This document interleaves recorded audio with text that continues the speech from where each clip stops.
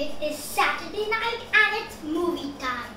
And what's a good movie night without any popcorns? And because of the lockdown.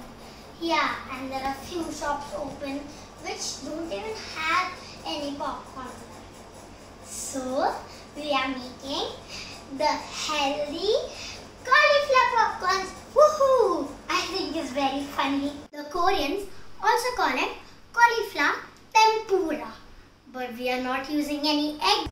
For this you're going to need some washed cauliflower florets and this should be the size of the popcorn that you're gonna need. Some breadcrumbs from the leftover bread that you have at home. Just toast it and crush it. Okay. Then, then you'll need some buttermilk or chaas. Then some garlic flavored salt, pinch of baking powder, a pinch of turmeric or haldi, some white flour, some corn flour and some corn flour. All of these things to make a batter. First, put the white flour in.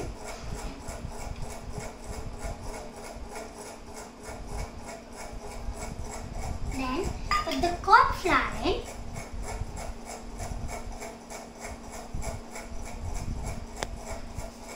Then, put little bit of the garlic salt garlic flavored salt. Then put the baking powder. Put some baking powder, just a pinch, this much.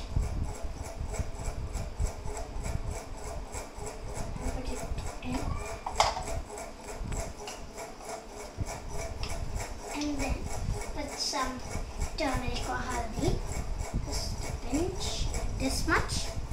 And put it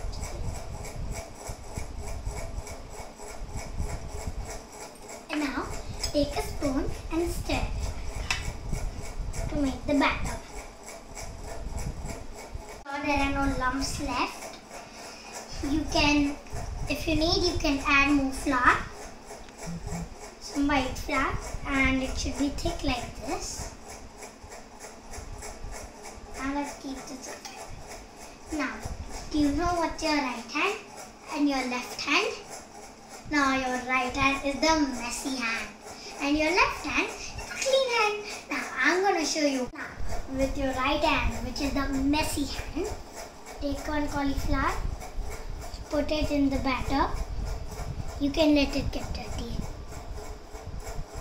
Then just put it in the breadcrumbs and with the left hand which is the clean hand put the breadcrumbs from all sides just pick it and put it.